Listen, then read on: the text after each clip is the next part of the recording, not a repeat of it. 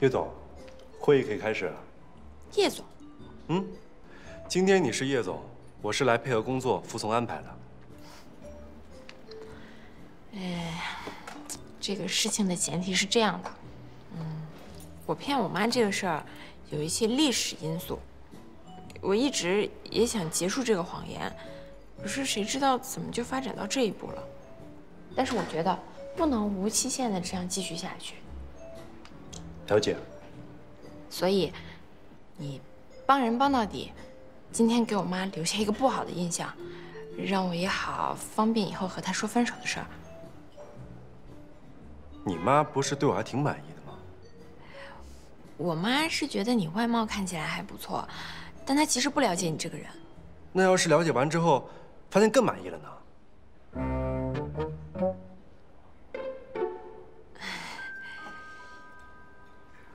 我说的不对吗？对对对，我妈会觉得我配不上你，所以啊，咱们得反着来。反着来。嗯。那叶总，说说你的方案吧。比如，你可以穿的邋遢一点。嗯。一会儿你开车吗？开。你就跟我妈说。车是你找朋友借的，我妈不喜欢虚荣的人。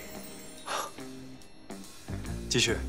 你可以比约定的时间晚到半个小时、一个小时的，让我妈等着。你是不是太孝顺了？这不是特殊情况吗？啊，如果我妈让你点餐，你就专点我不爱吃的，比如洋葱、苦瓜。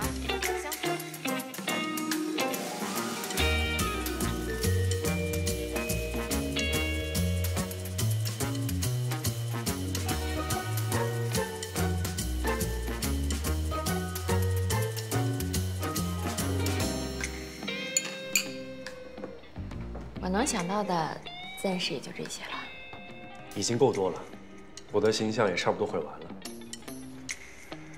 为了避免会露馅，我有几个问题需要确认一下。你说。你跟你妈说咱们俩交往多久了？十个月。我的职业是？医生。安心医院的医生。对。当时为什么这么编呢？就随口说的。我工作比较忙，说是同事，应该可信一些。那咱们俩假扮情侣，需不需要真实一点？需要，不能让我妈怀疑。那要真实，咱们俩又相处了十个月，我对你的家庭一无所知，有什么必须要告诉我的吗？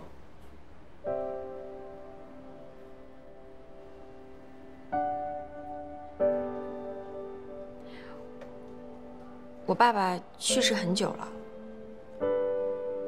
我妈和谢叔叔再婚，生了个弟弟，马上就要中考了。你知道这些就行了，和他不用聊太多的。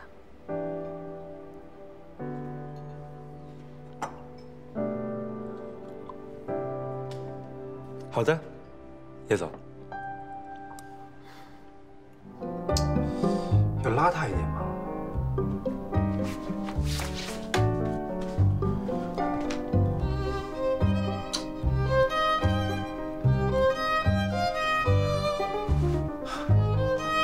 阿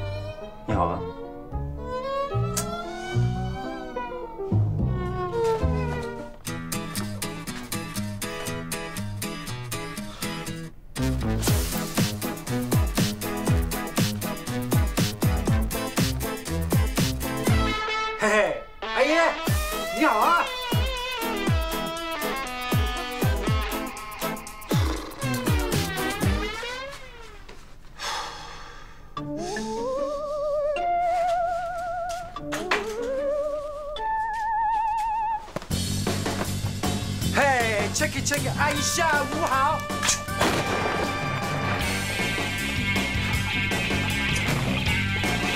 为什么要听你的呀？你跟你妈说咱们俩相处多久了？十个月。我的职业是医生。安心医院的医生。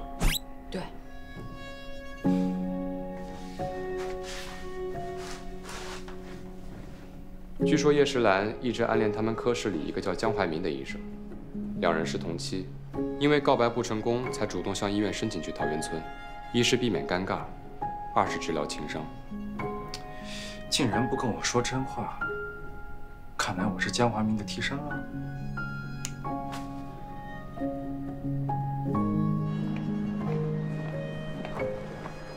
兰兰，嗯，医院那边也没我什么事儿了。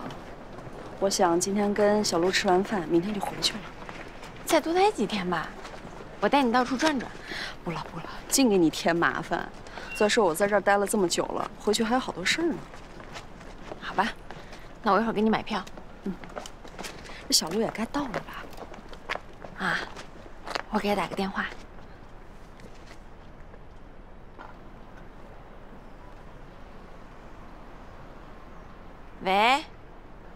你到哪儿了？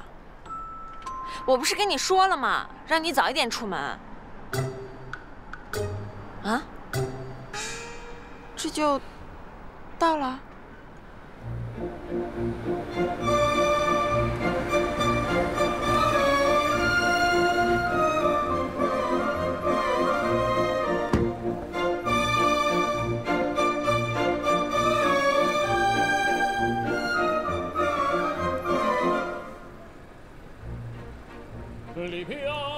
阿姨早上好。哎，早。我们走吧。哎，好。当心头啊！哦，谢谢谢谢。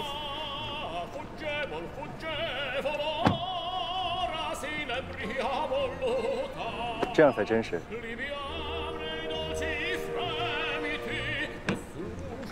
女朋友，上车吧。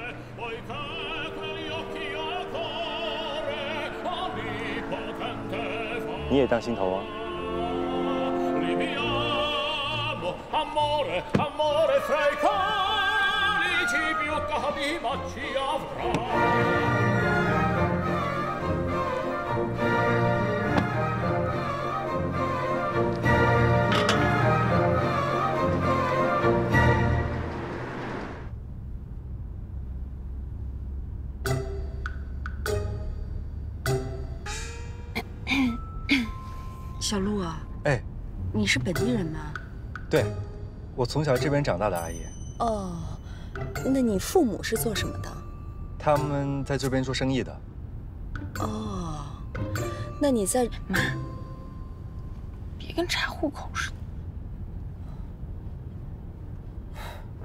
的。那还不是因为你没跟阿姨多说说我的情况，阿姨也是好奇我的事儿，所以才问的，对吧，阿姨？对对对。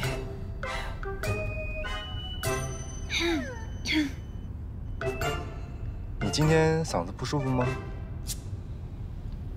没有啊。